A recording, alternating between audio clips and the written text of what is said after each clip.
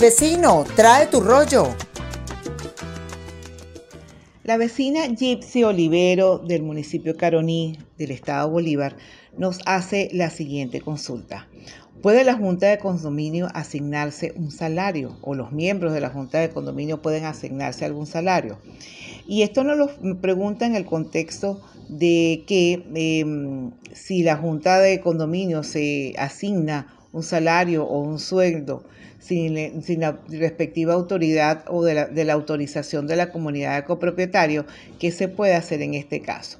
En el caso de su comunidad eh, se, produjo una situación como esta y eh, la, presidenta del condominio, pues eh, a juicio de lo que nos explican, tiene años en el cargo, no cumple con los roles que debe tener y este, porque se autogestiona y sigue percibiendo eh, este salario. Y todos los vecinos quieren que ella mm, pues deje de ser presidente. La solución Gypsy está en tus manos y vamos a partir de tres principios. Primero, los cargos de la Junta de Condominio o esos cargos que son voluntarios no perciben ningún tipo de sueldo ni salario porque no estamos hablando de una relación laboral. Eh, los cargos de la Junta de Condominio forman parte del voluntariado y eh, están mm, previstas por la ley de propiedad horizontal bajo unas características totalmente diferentes a la relación laboral.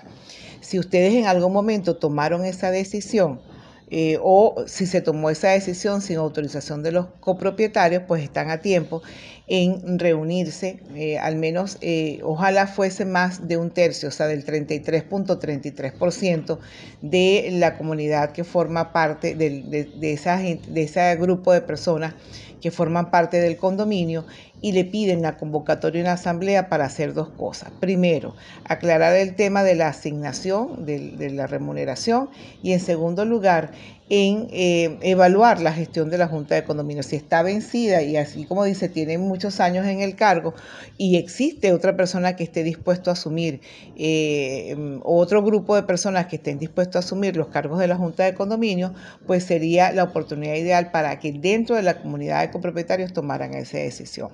Pero también te quiero decir que al margen de esto, en algunas comunidades ha sido muy útil hacer una, una suerte de asignación, un monto mm, en aquellos casos en que la comunidad de copropietarios, eh, perdón, que la junta de condominio pues necesite utilizar su vehículo, necesite sacar copias, necesite hacer algunas diligencias, eh, hacer tareas de delivery, de, de buscar mm, presupuestos, de llevar personal. Eh, esas personas lo hacen con sus propios vehículos, con sus propios medios, y no estaría de más que la comunidad de copropietarios pudiera compensar esas actividades, las cuales deberían estar muy bien especificadas. Por ejemplo, este servicio de, transporte de, desde un sitio, desde la ferretería hasta acá, este pago del celular porque hicimos una jornada de, trabajo, o sea, cosas que la comunidad entienda que el vecino que está realizándola como parte de la Junta de Condominio no tiene por qué asumirla cuando es un gasto de la comunidad. De esta manera le damos respuesta a, eh, a esta, nuestra vecina Gypsy Olivero, quien desde el municipio Caroní escribió al Servicio Público de Atención Gratuita de micondominio.com. Why?